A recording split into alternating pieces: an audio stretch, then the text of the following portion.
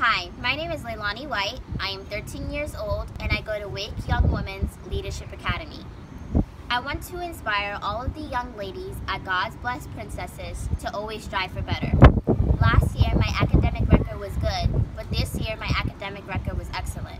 And as a result, I was elected as the Community Service Chairman for the National Junior Honor Society. In addition to that, I was also an honoree of the Girl of Merit Leadership Skills, and Community Involvement. I just want to encourage you to always keep God first and don't let anyone label you.